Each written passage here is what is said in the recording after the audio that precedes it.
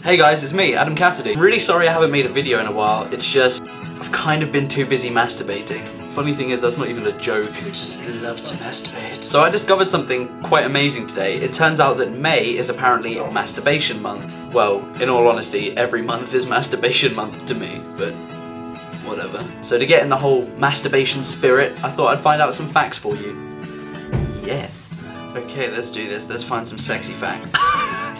The word masturbation itself comes from several Greek words. The first one is mesia, which means genitals, or the Latin manus, which is hand. But my favourite one is the Latin tubar, which means to disturb. So it's basically masturbation means disturbing your genitals. There's another kind of Latin etymology, and it's manus stupere, which means to defile with the hand. I don't know about you, but that doesn't really make masturbation sound pleasant to me. I'm gonna go defile my genitals. Techniques. Mm-hmm. Ways of masturbating common to members of both sexes include pressing or rubbing the genital area. I just sit there and press my penis. Dude. Oh, okay, there's a picture of a man's Wilkins. Gonna watch that. Frequency of masturbation is determined by age, sex, you know, those kind of things. To me, it's determined by how boredom, how how boredom I am. To me, it's kind of determined by how bored I am and whether or not I'm alone. Dude, I like this. This is funny. I have to talk about masturbation. Some of these diagrams are horrific. There's a painting called Woman Seated with Thighs Apart. It looks like someone's just taken a hacksaw and gone at her. Like two people have got her legs and kind of pulled them in opposite directions. Like Mortal Kombat. yeah. Fatality. Risks. This one's kind of a given, but I still feel like quoting it. Those who insert objects as to aid masturbation risk them becoming stuck. Example, rectal foreign bodies. So for all of you who, you know, put coins up your ass. Women can also fall prey to this problem apparently. A woman presented at a German hospital with two pencils stuck in her bladder. Compulsive masturbation. There is no scientific evidence of causative relationship between masturbation and any form of a mental disorder. Compulsive masturbation and other compulsive behaviors can be signs of emotional problems. Great, so I'm suffering from emotional problems, which makes me touch myself. Sweet. This is one of the best topics I've ever heard about masturbation. The masturbatathon.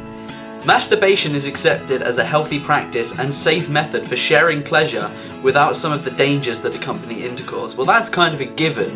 But then it says this it is socially accepted and even encouraged and celebrated in certain circles. I'd hate to be in the centre of that circle. Group masturbation events can easily be found online.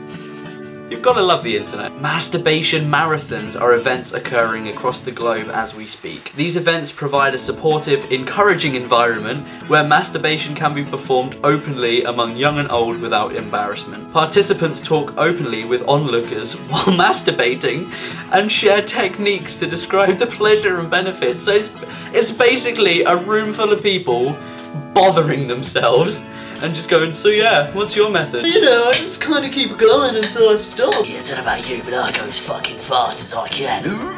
masturbation marathon.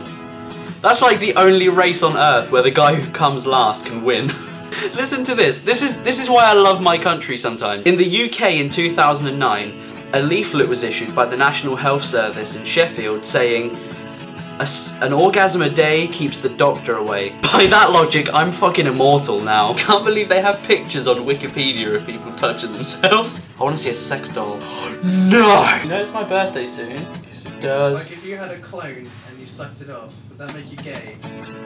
I guess not. I guess it would be masturbation if you were like touching your clone. I feel like such a child for finding masturbation that funny. Oh yeah, dildo. Big fatty dildo. Come on, all the guys out there know where, where I'm coming from on this. You just love sitting there on your own, having yourself a little love tug. Don't you, Sheridan? Yes. Yep. Choking the chicken. Jack in the Beanstalk. Honking the horn.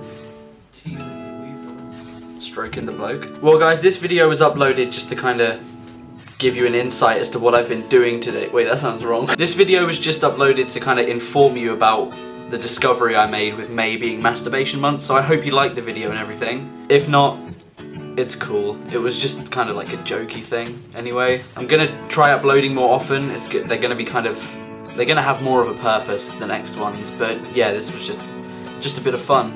I'm gonna go and catch up on some well needed masturbation later.